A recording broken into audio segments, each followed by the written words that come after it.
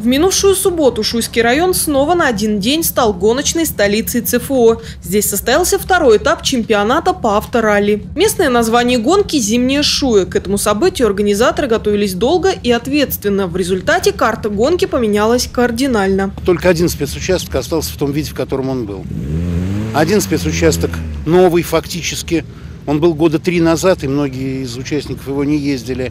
А вот это знаменитое Змеево, где мы сейчас с вами находимся, оно впервые в истории едет в противоположную сторону. А для гонщиков это новый спецучасток совершенно. Правый поворот теперь левый, а дорожные неровности появляются совершенно непредсказуемо. Даже на тренировках гонщики никогда не ездили трассу в этом направлении. Так что на этот раз в равных условиях и местные, и гости из других регионов. Увы, мы много участников не собрали. Все-таки год начался у нас тяжелый, да, не только в, в спорте, это по всей, по всей экономической, да, по, по всему экономическому положению.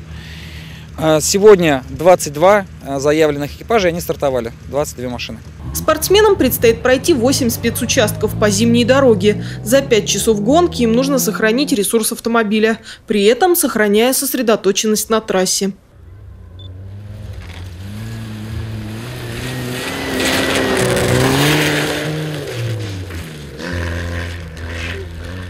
Году есть еще одно знаковое именно для ивановских гонщиков изменение. Штаб ралли на этот раз располагается в здании местного клуба. Это помещение команде «Астро Ралли» передали в пользование. По сути, у организаторов гонки сегодня новоселье. В планах, значит, э, по зданию, если его немножко, значит, подремонтировать, привести его в порядок, потому что давно им не пользовались, ну, косметический ремонт сделать, э, территорию развивать, соответственно, рядышком, чтобы была вся полностью инфраструктура э, спортивная, скажем так, в одном месте. Это очень удобно и для нас, и для соревнований в будущем, когда и пилоты, и зрители все приезжают, одно место, все обустроено здесь, и тепло, и штаб ралли здесь, и все и так далее, и подобное. Очень удобно. А значит, несмотря на экономически нелегкое для более чем затратного автоспорта время, у ивановских гонщиков будет еще один немаловажный стимул продолжать заниматься любимым делом.